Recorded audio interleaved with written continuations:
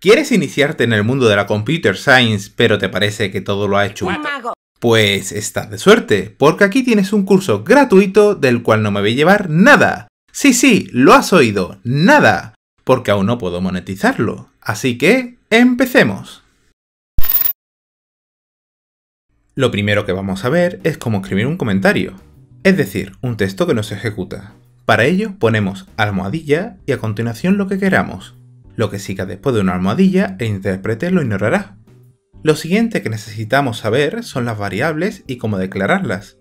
Básicamente es como una caja para almacenar y usar los datos. Para ello le damos un nombre a esa caja con caracteres alfanuméricos, empezando con una letra, luego un igual y el dato que queramos introducir.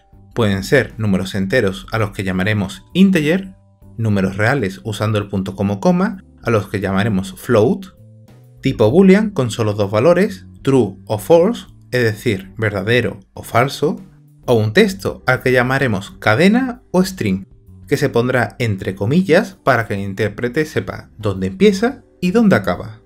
Debido a que el código se ejecuta de arriba a abajo, el contenido de la variable caja1 tendrá el string de cake y salai.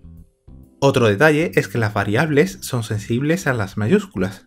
Si la variable de la última línea hubiera sido caja1 con la C mayúscula, el contenido de la caja 1 con C minúscula tendría el valor boolean true. Si tenemos dos variables con números, podemos crear nuevas variables a partir de otras usando distintos operadores como más para sumar, menos para restar, asterisco para multiplicar y barra para dividir.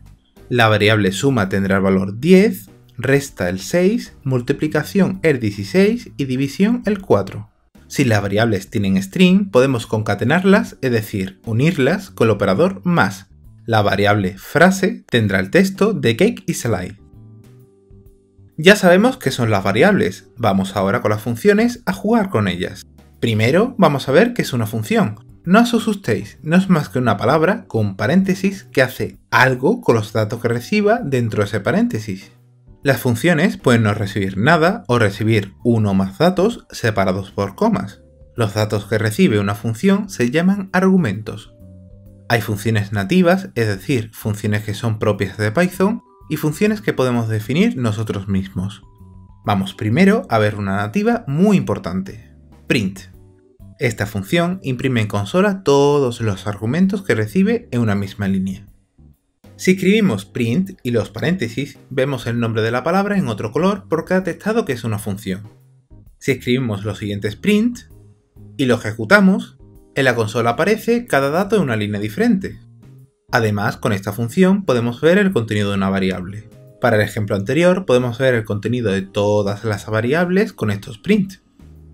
Al igual que hay funciones como print ya declaradas dentro del lenguaje, podemos crear funciones nuevas usando la palabra def el nombre de la función, por ejemplo, suma, los paréntesis con los nombres que le queramos dar a los argumentos, separados por comas, por ejemplo, dos números num1 y num2, y dos puntos al final indicarán que empieza el contenido de lo que hace la función por dentro. Para indicar que el contenido pertenece a la función, se usa un nivel de tabulación en cada línea del código. En el momento que se deje de usar, habrá acabado el código dentro de esa función. Nosotros queremos que la función junto a los argumentos se convierta en la suma de ellos. Para ello usamos la palabra return y lo que queramos que devuelva, en este caso num1 más num2. Tranquilos, vamos a ver qué sucede poco a poco cuando lo usamos. Primero, suma recibe los números 5 y 3. Al ejecutarse la función, el argumento num1 será 5 y el argumento num2 será 3. Dentro se suman ambos números y devolvemos con return el valor 8. Todo esto se transforma en ese 8 que ha devuelto y por último print imprime el valor por consola. No es tan difícil, ¿verdad? Podemos jugar con todo lo que hemos visto hasta ahora y mostrar un mensaje como este con las variables y la función suma. También podemos crear variables dentro de la función. Para verlo, hagamos la media de dos números. Sumamos los dos números en la variable media. Dividimos el valor de la variable media usando barra 2 y almacenamos el valor obtenido en la propia variable media. Finalmente devolvemos el valor. Es importante saber que las variables que están dentro de las funciones, como media, son variables temporales llamadas locales, es decir, variables creadas en el momento que se usan y que una vez terminada la función dejan de ser accesibles. Si intentamos ver el contenido de media, después de usar la función, nos dará error. Otra cosa es que una función pueda simplemente no devolver nada, realizar el contenido que tenga dentro y ya está. Vamos ahora a crear una función que insulte a alguien. Creamos la cabecera de la función donde esta vez solo recibe un argumento, el nombre. Escribimos dentro un print y lo probamos. Como ves, solo se ha ejecutado la línea que había dentro. Ya hemos visto lo principal de las funciones, pero ahora vamos con un tipo de dato muy importante. Atentos. Existen tipos de datos que te permiten almacenar más de un dato a la vez. Hoy veremos uno de ellos, las listas. Para crearlas solo tenemos que escribir unos corchetes y ya tenemos una lista vacía. Los datos que queramos almacenar los separamos por comas. Si ahora guardamos la lista dentro de una variable, luego podemos acceder al dato por el índice de la posición dentro de la lista empezando por 0. ¿Cómo? Poniendo ese índice dentro de unos corchetes al final del nombre de la variable. En Python, una lista puede contener distintos tipos de datos, por ejemplo, un int, un float, un boolean y un string. También podemos usar el método print sobre la lista para ver su contenido. Al igual que print, existe otra función nativa de Python que devuelve el tamaño de una lista, len. Las listas son un tipo de dato que tienen funciones integradas. Cuando las funciones pertenecen a un tipo de dato, las llamaremos métodos. Para usar un método de lista, basta con usar un punto al final del nombre de la variable que la contiene. Por ejemplo, el método append se usa para añadir un elemento al final de la lista. Otro método es insert, que dado un índice y un elemento, introduce ese elemento en la posición de la lista que indica ese índice. Para consultar todos los métodos que tiene un tipo de dato, podemos usar la función dir. Existen otros tipos para almacenar datos, como las tuplas o los diccionarios, que veremos en otro vídeo. Para ir terminando, nos centraremos en las variables que hemos visto hasta ahora y a darles una utilidad mayor con secuencias de decisión y bucles. Empecemos con las secuencias de decisión, el if-else. Podemos escribir una condición para ejecutar o no una parte del código. Sigue el concepto, si ocurre la condición, haz esto. Para ello hay que escribir la palabra if seguido de un valor boolean, ya sea de una variable o de un operador, y dos puntos.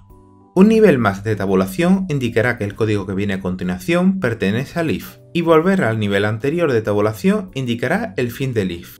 Por ejemplo, si tenemos una variable con valores boolean que nos indica si alguien nos ha insultado, podemos programar la respuesta.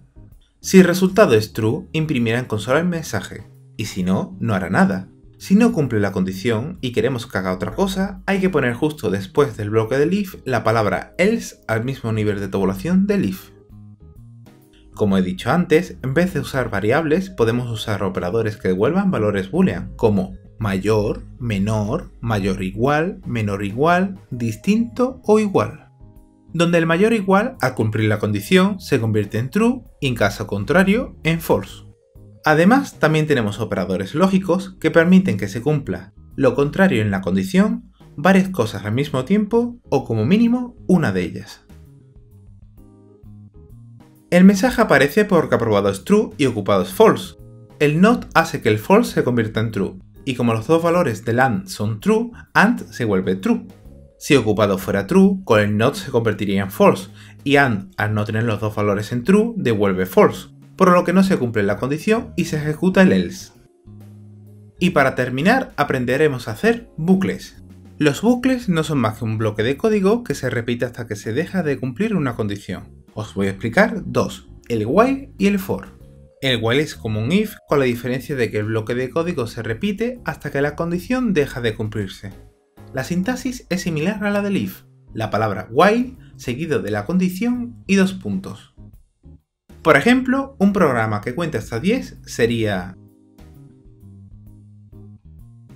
Primero contador tiene valor 0, luego la condición al cumplirse devuelve true y el while se ejecuta imprimimos el consola valor y lo incrementamos, termina el código y vuelve a la condición.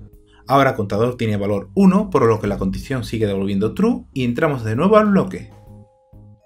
Así hasta que contador llega a 10 y la condición devuelve a false, terminando con el bucle. Hay que tener cuidado con el famoso while true, porque si ponemos una condición en el while que nunca deje de cumplirse, entraríamos en un bucle infinito. Por ejemplo, si eliminamos la línea que aumenta el contador. Por último, vamos con el for. El for en Python no es más que un iterador de un objeto iterable, es decir, ejecuta su bloque de código haciendo que una variable tenga un valor distinto en cada iteración del bucle. Un objeto iterable puede ser las listas, un string, entre otros tipos de datos que ya veremos en otro vídeo. Su sintaxis es así. La palabra for, seguida del nombre de la variable que va a contener cada elemento, seguida de la palabra in, el objeto iterable, por ejemplo, una lista, y dos puntos. Vamos a escribir en el bloque que imprima en consola la variable elemento y entenderéis qué pasa. Primero, elemento tiene el valor 1, se ejecuta el print y una vez termina el código pasa al siguiente índice de la lista. Ahora elementos 2. Se ejecuta el print y pasamos al siguiente índice. Así hasta terminar la lista y por tanto el for. El for es muy importante para darle utilidad a este tipo de objetos. Podemos combinarlo con un if así. El for recorre cada índice de la lista y lo compara con nombre. Si es igual, imprime en consola la variable y un texto. Este código sirve para comprobar si un nombre está en la lista. Otra cosa más, recordaros que este código está escrito bajo un estilo propio totalmente válido. Pero si el código va a ser público, lo correcto sería trabajar bajo un mismo estilo, concretamente el PEP 8, pero eso lo dejaremos para otro vídeo. Con esto ya sabes lo básico para que Python no se te haga un lío. En próximos vídeos subiremos de nivel. Aquí te dejo cuatro ejercicios para el vídeo y déjame en comentarios qué valor contiene la variable resultado. Y poco más, os dejo tanto en la descripción como en comentarios un cola para que podáis probar y toquetear todo el código que hemos visto en el estilo PEP 8. Déjate caer un like, compártelo a quien le pueda interesar y recuerda suscribirte si quieres ver otra parte totalmente gratis. Nos vemos.